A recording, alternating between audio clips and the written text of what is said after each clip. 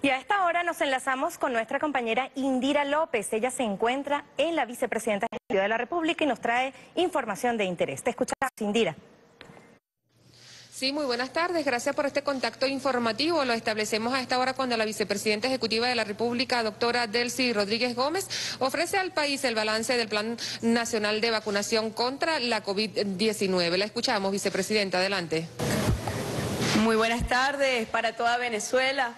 Bueno, aquí estamos reunidos la Comisión Presidencial por indicación de nuestro presidente Nicolás Maduro, evaluando, haciendo seguimiento a lo que es esta época decembrina, los cuidados especiales que todos y todas debemos tener para evitar el contagio por la COVID-19.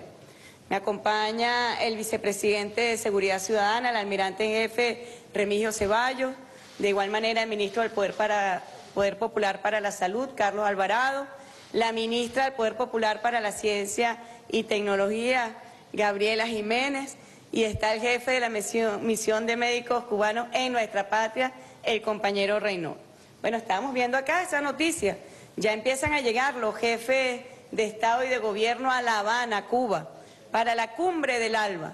Y uno de los puntos, sin duda, que va a ser abordado es cómo de manera solidaria el bloque del ALBA controla y enfrenta la pandemia, que sabemos en el mundo ha mostrado graves signos de desequilibrio, graves signos de desequilibrio.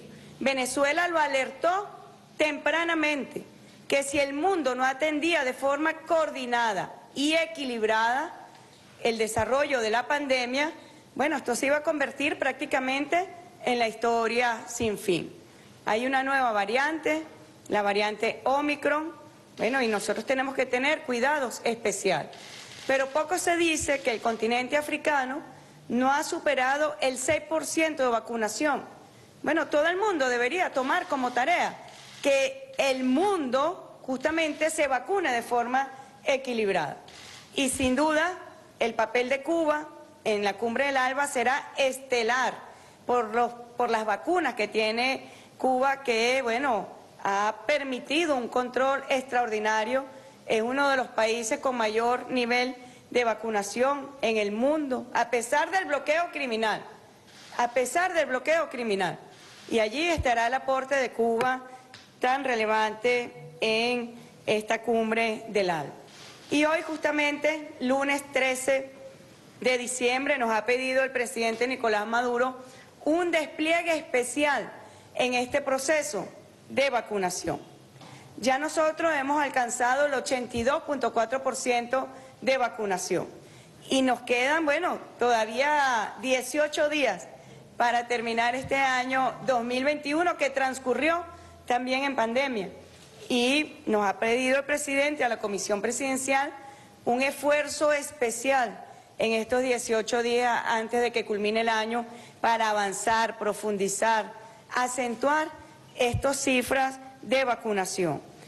Yo quiero aprovechar para felicitar, ahí estados, los cuatro primeros estados en números de vacunados. Bueno, Caracas, el distrito capital de primero en vacunación. Felicitamos a sus autoridades y al pueblo de Caracas. Felicitamos también al estado Táchira, al gobernador Freddy Bernal, al estado La Guaira, al joven gobernador Terán, al estado Carabobo, a Draculacaba y Los Roques, que también tiene una altísima tasa de vacunación. Bueno, hay que seguir el ejemplo de estas entidades regionales, los estados, hay que seguir el ejemplo para que avancemos inmensamente en la vacunación. Y bueno, en este proceso ya vamos a seguir dando detalles, pero queríamos irnos primero que nada al estado Barinas. Allí estamos, en el casa por casa, vacunando. Tum, tum, ¿quién es? Venimos a vacunar. Tum, tum, casa por casa. Ahí estamos en el área de salud integral comunitaria, la Ciguanapa, en el sector Rodríguez Domínguez, parroquia Rómulo Betancourt, del municipio Barinas, Estado Barinas. Allí va a recibir el pase la Autoridad Única de Salud del Estado Barinas, Ángela Torres, Estará igualmente presente la coordinadora de la Misión Médica Cubana, la doctora Yasmín Almaza, estará la directora de la CID de Guanapa y estará una vocera del Poder Popular, Nancy Villegas. Bueno, vámonos ya para Barinas con la Autoridad Única de Salud que explique qué estamos haciendo en el Estado Marina, cómo estamos ampliando el proceso de masificación de la vacunación. Adelante, Ángela Torres. Buenas tardes, vicepresidenta. Nos encontramos aquí en el estado Barina, cuna de la revolución de nuestro comandante Hugo Rafael Chávez Fría, en conjunto aquí con la doctora eh, Yasmín Almanza, coordinadora jefa de la misión médica cubana, coordinadora también la licenciada Arelis Gainza. Bueno, en fortalecimiento, gracias a usted por el apoyo, gracias al apoyo de nuestro presidente Nicolás Maduro Moro, en articulación con nuestro ministro de Salud, Carlos Alvarado, que hace poco recibimos una visita en nuestro estado el fin de semana, donde se nos orientó a tratar de fortalecer y aumentar y mejorar el tema de la vacunación en la amplificación de las metas. Bueno, aquí estamos un equipo en el cual estamos en conjunto con la jefa de la VH, la señora Lucía Lima, que en el día de hoy realizamos un casa a casa, en el cual visitamos pacientes con enfermedades crónicas no transmisibles, pacientes con discapacidad, también se atendieron niños contra la vacuna, vacuna COVID-19 y vacuna de rutina. Aquí estamos un equipo fortalecido, bueno, trabajando articuladamente, como nos han enseñado, un sistema único público nacional de salud, en conjunto con la Secretaría de Salud, Fundación Misión Bajo Adentro, Misión Médica Cubana y Seguro Social. Y aquí estamos, bueno, como nos han enseñado, una sola línea de un solo gobierno. Y bueno, fortaleciendo el sistema público nacional, en el día de hoy se visitaron varios pacientes, se colocaron 80 dosis en el casa a casa, en el cual, bueno, fue muy provechosa en apoyo con la comunidad organizada. Como es el deber ser, aquí estamos trabajando como un solo equipo. Así que muchísimas gracias, vicepresidenta, a usted, al presidente, por todo el apoyo que nos brindan día a día. Aquí estamos para seguir batallando. Aquí le doy el pase a la señora Lucía Lima, jefa de la VH Rodríguez Domínguez. Buenas, buenas tardes, vicepresidenta.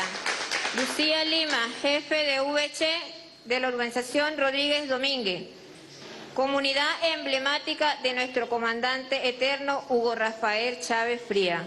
Hoy realizamos un despliegue casa a casa, atendiendo a los niños y niñas de nuestra comunidad. Además, fue oportuna atender a la maestra de nuestro comandante Hugo Rafael Chávez. Además se hizo pruebas de COVID a personas que tienen síntomas y también abordamos las vacunas de rutina para los niños de nuestra comunidad.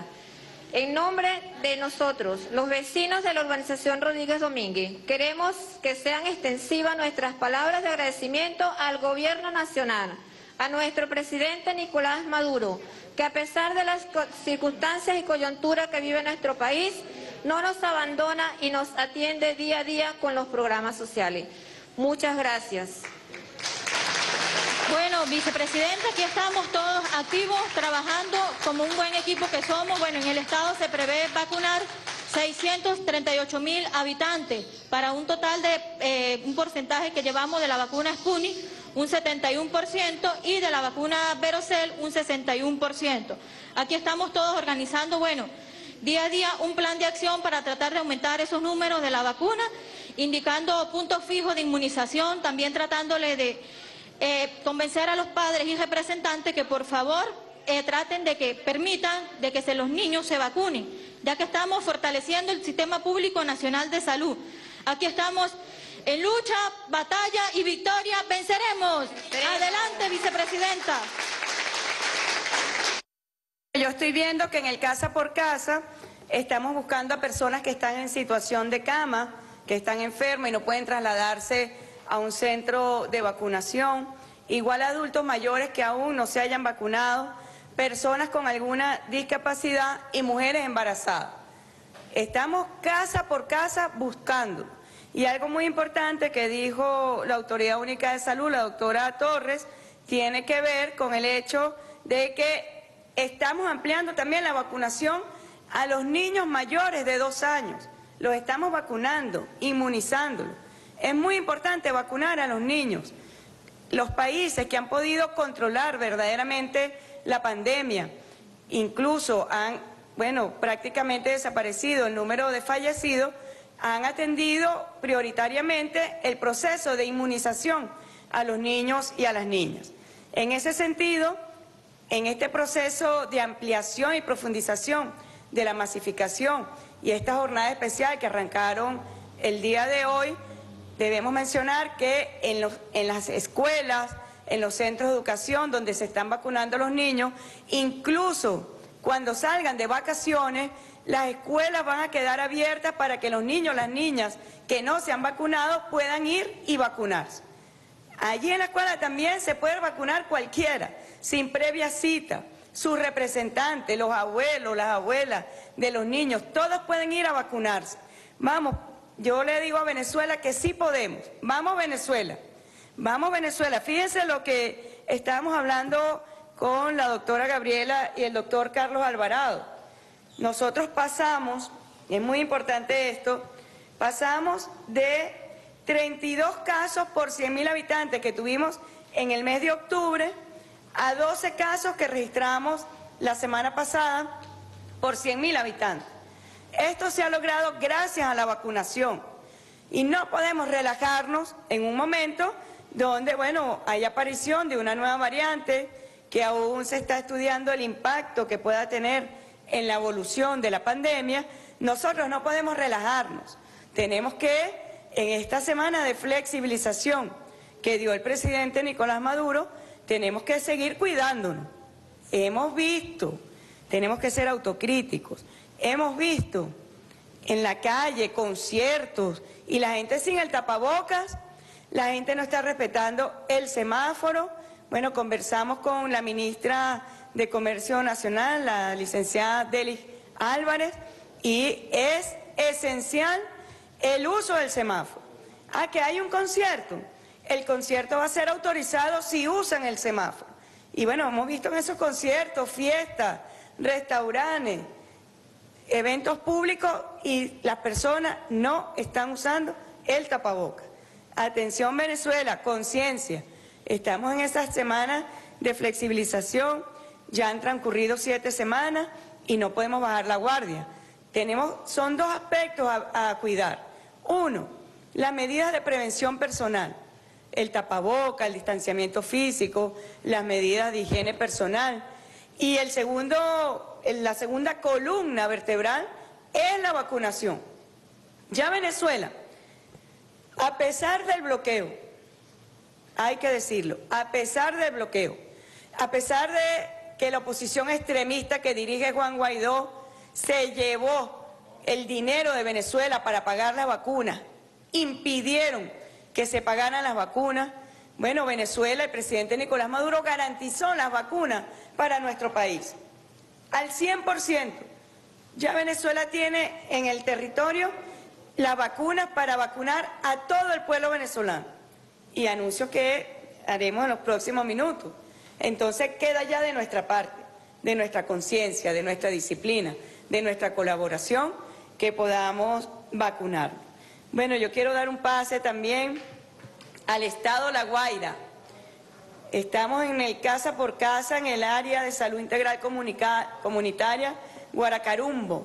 Allí está nuestro joven gobernador, recién electo, Alejandro Terán, bueno, acompañado del alcalde del municipio Vargas, de la autoridad de salud, del coordinador de la misión médica cubana. Allí está la vocera del Poder Popular. En este despliegue que ha iniciado el día de hoy, lunes 13 de diciembre. Así que, Alejandro, adelanto, adelante, cuéntanos qué está pasando, cómo está La Guaira. La Guaira tiene, está entre los primeros estados, es el tercer estado con mayor porcentaje de vacunación, pero ahí está nuestro gobernador, buscando al que se pasó. Una operación remate de vacunación Cuéntanos, Alejandro, ¿cómo va el casa por casa? Saludo, vicepresidenta, un abrazo. Estamos en el urbanismo Brisas de Maiquetía, en la parroquia Urimares. Urbanismo creado por la Revolución Bolivariana, haciendo un esfuerzo muy grande en buscar apartamento por apartamento, casa por casa, a todas las personas que nos faltan aún por vacunar. Importante destacar, presidenta, que gracias, vicepresidenta, que gracias al apoyo de nuestro presidente Nicolás Maduro y al Estado Mayor de Salud, a La Guaira nos han llegado las vacunas suficientes para que podamos decir que hemos sobrecumplido la meta inicial que nos habíamos propuesto de vacunar 259 mil personas y ya llevamos 281 mil 353 personas vacunadas aquí en nuestro estado con las dos dosis, lo cual representa un porcentaje superior del 109% de la meta inicial que nos habíamos planteado. Eso es gracias al apoyo de nuestro presidente Nicolás Maduro. Pero como se trata, vicepresidenta, de seguir buscando apartamento por apartamento a los adultos mayores, a las mujeres embarazadas, de estimular la conciencia, aquí estamos entrando precisamente a un hogar de una adulta mayor. Se trata nada más y nada menos que de Yadira Antón, quien tiene 67 años y que ella ya se había colocado la primera dosis de una de nuestras vacunas, precisamente la vacuna Verocel. Te había colocado y venimos hasta aquí, hasta su casa a buscarla. No hay excusa para que nuestro pueblo no se vacune, gracias al esfuerzo también de más de 120 vacunadores y vacunadoras que en las 11 parroquias de nuestro estado, con un gran esfuerzo. En Barrio Adentro Salud, con la misión médica venezolana y cubana como un gran equipo, se están colocando sus vacunas para lograr pues la inmunidad. Importante destacar, vicepresidenta, que en el estado de La Guaira disminuido drásticamente el número de personas hospitalizadas. Antes no bajaban de 120, teníamos prácticamente colapsadas las capacidades de las camas COVID que teníamos dispuestas en los centros Centinela. Hoy apenas tenemos 18 pacientes hospitalizados, de los cuales 13 son moderados, dos están de manera leve y tres tenemos eh, de una manera ya más avanzada. Nosotros estamos garantizando la vacunación para poder generar la inmunidad. ¿Te dolió, mi amor? Que Dios te bendiga un poquito, pero ese poquito nada más te va a garantizar mayor protección gracias a nuestro presidente Nicolás Maduro. Que Dios me la bendiga, mi vida, que Dios proteja a tu familia y que te cuide de toda enfermedad. También seguimos por aquí buscando entonces en este despliegue apartamento por apartamento a las mujeres embarazadas, las hemos ubicado. Y aquí tenemos, vamos a entrar a la casa inmediatamente en compañía de las autoridades de salud, vamos a entrar a la casa de Richelis Tenía. Richeli tenía una jovencita, ella es estudiante, tiene apenas 17 años, está con su mamá Vanessa. Y Richeli tiene ya 30 semanas de embarazo, ella no estaba vacunada. Nuestras autoridades médicas se percataron en el casa por casa con los voceros del Poder Popular, como en este caso que me acompaña Rosa Salazar. Y en este urbanismo recientemente creamos la residencia médica de la misión cubana y rehabilitamos también lo que tiene que ver con las instalaciones del ambulatorio. Lo hemos dotado de suficientes medicamentos. Y así fue que llegamos a este hogar. Y con Richelli también le vamos a colocar ahora la primera dosis de la vacuna que ella va a recibir, ella es estudiante, le vamos a colocar la Verocel también, eh, para poder garantizar su protección.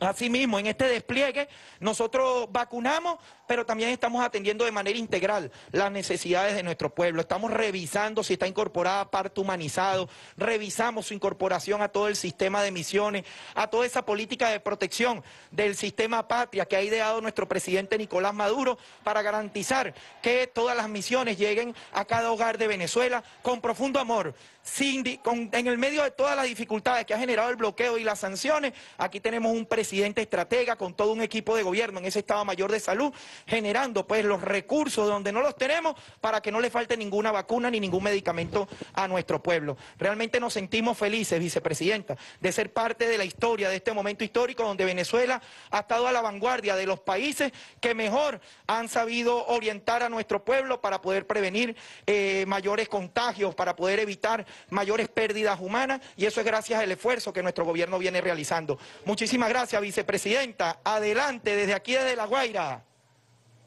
Gracias, Alejandro. Bueno, aquí te vemos muy activo. Yo sé que tú estás buscando en todos los rincones del Estado personas que aún no se hayan vacunado. Yo quería que el doctor Carlos Alvarado también nos diera sus reflexiones sobre este proceso de vacunación. Justamente este despliegue especial, Alejandro, del casa por casa, hay que decir que también está en la gran misión Vivienda Venezuela, en algunas farmacias, algunos centros comerciales, en algunos automercados y en las escuelas. Nosotros vamos ahora a pedir a colaboración de las iglesias para que nos ayuden también a vacunar. Vamos a pedirle a través del almirante en jefe que se reúna con las distintas iglesias para ver cómo ellos aportan en este proceso de vacunación. Adelante, ministro. Gracias, vicepresidenta. Efectivamente, desde la semana pasada estamos a nivel nacional en un proceso de intensificación del Plan Nacional de Vacunación. En este proceso de intensificación hemos pedido al, menos cinco líneas. La vicepresidenta acaba de incorporar una ahorita que sería la sexta. La primera de ellas es la vacunación en todas las escuelas primarias, secundarias, públicas y privadas. Ya se hizo un plan con el Ministerio de Educación, eh, el Ministerio de Educación con la ministra Yelixa Santaella, y estamos con un cronograma, escuela por escuela, liceo por liceo, vacunando a todo mayor de, dos años, de tres años en adelante, y es un proceso que ha avanzado eh, bastante rápido. El segundo lo estamos viendo ahorita en los pases, que es la vacunación casa por casa. Esta vacunación casa por casa se aprovecha no solamente vacunar contra la COVID, sino hacer prevención eh, recordar las medidas, vacunar contra la, vacunación de rutina, identificar embarazadas, un abordaje integral que venimos realizando a nivel nacional. Por cierto que desde esta actividad barrio adentro eh, se han vacunado más de seis, se han colocado más de 6 millones de dosis de vacunas solamente en el casa por casa, que ha sido una estrategia bien efectiva para el uso. La tercera estrategia que venimos empleando es la el mantener los puntos de vacuna de iniciales, en los puntos centinelas iniciales de vacunación, eso los estamos manteniendo y reorientando para todas aquellas personas que vienen a una segunda dosis. Luego estamos eh, pidiendo que se aumenten los puntos de vacunación en farmacias, en automercados, en centros comerciales, que ya lo veníamos eh, utilizando y que han sido de mucha utilidad el sector privado incorporando y apoyando también las jornadas de vacunación en cada entidad, en cada sí, buscar que qué establecimientos del sector privado están dispuestos a incorporarse con todas las medidas de bioseguridad y con toda la logística para la vacunación. Y luego estamos también pidiendo que en los sitios de concentración, como estamos en fiestas decembrinas, podemos utilizar especiales para esta jornada de vacunación. Los terminales, por ejemplo, cuando la gente va a visitar, va a pasar los días navideños eh, con su familia, pues colocar puestos de vacunación. Si nosotros colocamos allí además también el semáforo, cualquier persona que salga en el semáforo en amarillo, que significa que no se vacunado, pues ahí tiene el puesto de vacunación, se vacuna y viaja. Creo que son eh, estrategias que podemos utilizar para aumentar y lograr la meta que nos ha pedido el presidente Nicolás Maduro de llegar al 90%. Y ahorita la vice nos ha instruido eh, también en las iglesias. Nos hemos reunido con algunos sectores de las iglesias y están dispuestos a colaborar y están dispuestos a llamar en sus, en sus, mm, eh, en su cuando se dirigen a sus feligreses, pues eh, estimular la vacunación. Así que tenemos, vice, eh, muchas cosas por hacer y creo que estos 18 días van a ser intensivos. Podemos celebrar los días navideños, pero también con salud y estimulando la vacunación de todas y todos. Muchísimas gracias, ministro. Bueno, debe saber también nuestro pueblo que estamos, seguimos muy vigilantes de nuestra frontera. Todos los días nosotros analizamos las pruebas moleculares de quienes llegan del extranjero justamente para hacer el abordaje epidemiológico pertinente y oportuno y para que estemos, bueno, muy blindados frente a esta pandemia que, bueno, ha tomado ya dos años, Reynol, y no sabemos qué más nos depara porque siempre hay sorpresas en el camino. Pero el pueblo venezolano debe concentrarse en la vacunación. El mensaje es muy claro, la vacunación. Ya, como lo ha dicho el presidente, hemos arribado al 82,4% de vacunación y nos ha aprobado también el presidente, será anunciado en los próximos días, el plan de refuerzo para el pueblo venezolano que debe iniciar en el mes de enero, empezandito el 2022. Primero que nada, como siempre, cuidar a nuestro personal de salud. En el 2022, primero de enero, arranca Venezuela el proceso de reforzamiento con las vacunas, que ya también están en nuestro país. Bueno, queríamos, antes de despedirnos, queríamos antes de despedirnos, dar el reporte. Decía yo que la semana pasada cerramos con 12 casos registrados por 100.000 habitantes. Veníamos en el mes de octubre, en la semana del 3 al 9 de octubre, registramos 32 casos por 100.000 habitantes. fue el impacto que tuvo la variante Delta en Venezuela, que causó esa segunda ola y hemos venido controlando gracias al avance de la vacunación. Bueno, esta semana, ¿qué pasó? La tasa bajó a 12 casos por 100.000 habitantes, un punto menos que la semana pasada, pero de octubre a diciembre, como ya dije, bajamos de 32 casos por 100.000 habitantes a 12 casos. Gracias al esfuerzo de nuestro pueblo, en coordinación con el gobierno nacional, regional y local, profundizando en la vacunación. Bueno, esta semana que pasó, atención, tuvimos aumento de casos en 10 entidades. Zulia, Falcón, Lara, occidente del país, Zulia, Falcón, Lara, Cojedes, Mérida, Sucre, Guárico, Caracas, Carabobo y Apure. Vale mencionar que la variante Omicron ya llegó a Colombia, ya llegó a Brasil, llegó a México, así que nosotros estamos por eso muy vigilantes. Aquí está la ministra de Ciencia y Tecnología, Gabriela, estamos secuenciando las muestras moleculares todos los días de quienes entran por nuestro, a nuestro territorio. Y tenemos reducción de casos en tres entidades. Nueva Esparta, Monagas, Delta Macuro, Bolívar, Miranda, Yaracuy, Aragua, Portuguesa, Anzuategui, Marinas, Trujillo, Amazonas y La Guaira. Hay una entidad que se mantuvo igual que la semana pasada y es el estado Táchira. Así que estos son los estados donde hubo incremento de casos, en otros tres estados hubo reducción de casos y nosotros, toda Venezuela, debe estar muy pendiente que en esta semana de flexibilización ampliada por las fechas decembrinas, bueno, el mejor regalo que nos vamos a dar todos este 24 de diciembre es la salud y la vida. Y llegar al 22 de diciembre saludable, llegar al 22 de diciembre con mucha energía, mucho entusiasmo y mucha vida y el camino es la vacunación. Así que, bueno, hemos realizado esta reunión de la Comisión Presidencial para compartir con ustedes. Está arribando a, nuestro país, lo hemos mostrado en los medios de comunicación, los últimos dos días están llegando la vacuna Sputnik Light para el proceso de refuerzo de esta etapa de inmunización del pueblo venezolano. Han estado llegando. Queremos en nombre del presidente Nicolás Maduro agradecer al presidente Vladimir Putin, a su gobierno, al pueblo ruso, por este apoyo al pueblo venezolano. Agradecidos por siempre, al igual que China, que ha tenido un papel preponderante con las vacunas en Venezuela, y Cuba, que bueno, aquí llegó la Soberana 2 y la Abdala, llegó para quedarse y vamos también a producir vacunas de Cuba en Venezuela. Bueno, hoy 13 de diciembre, se cumplen 27 años del primer encuentro entre dos gigantes, el comandante Hugo Chávez y el comandante Fidel Castro en La Habana.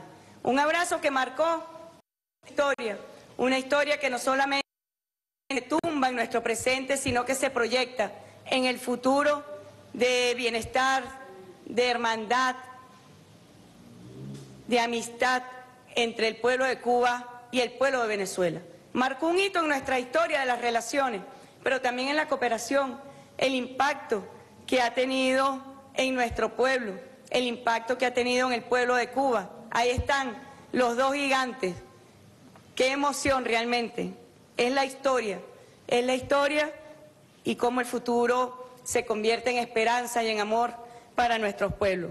Queríamos despedirnos con un video para conmemorar estos 27 años de abrazo que marcaron un futuro promisorio de dignidad para nuestros países, de defensa de soberanía, de defensa de autodeterminación y donde el imperio estadounidense no ha podido ni podrá.